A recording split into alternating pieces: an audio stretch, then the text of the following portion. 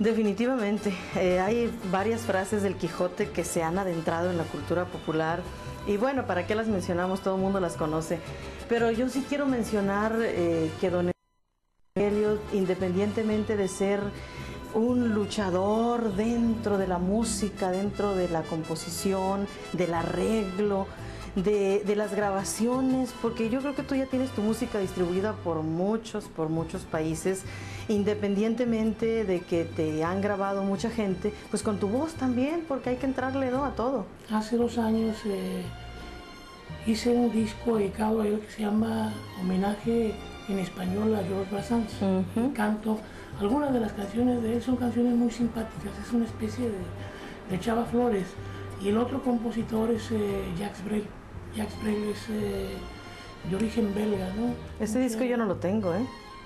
Son, ambos son autores muy importantes, ¿no? Uh -huh. En la música del siglo XX y han ejercido una gran influencia en todos los cantautores.